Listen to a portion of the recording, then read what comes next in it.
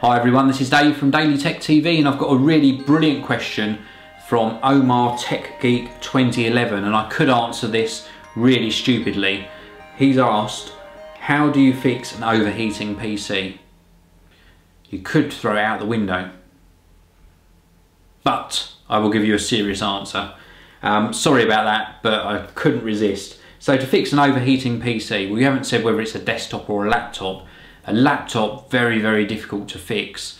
Uh, just check that the vents, if it is a laptop on the side or the back, are clear from dust and debris. Maybe get a little mini vacuum and just sort of vacuum them out or some compressed air and sort of blow that into the ports. I would go the vacuum route first because that's going to draw the dust out rather than push it into the machine.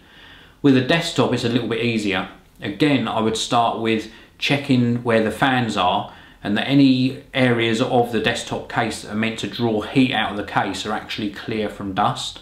Or maybe even where you've got it positioned. If you've got it positioned against the wall just pull it out a couple of inches from the wall. Just so you've got room for air to circulate. That's probably the first thing I do. Second thing if you're comfortable with opening the case open up the case. Check again for dust. Um, very very gentle with a little mini vacuum try and sort of uh, vacuum off dust some sort of compressed air just to get dust out of the inside is another good way. And then if you're really confident, anti-static strap around your wrist uh, and attach that somewhere to get rid of any sort of static charge that you've got on your body.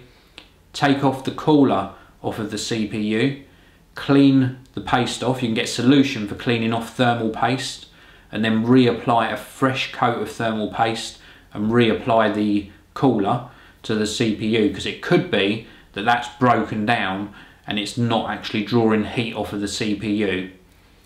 Other than that, not really sure what to suggest. I would probably, um, if you're not comfortable doing the, the thermal pasting, I would take it into a repair shop, let them know what's happening, they can check it. It might be something wrong with the, the fan, maybe the fan's not working, it might be something wrong with the CPU, and beyond that I probably wouldn't be able to advise you properly. So brilliant question, I hope that helps you.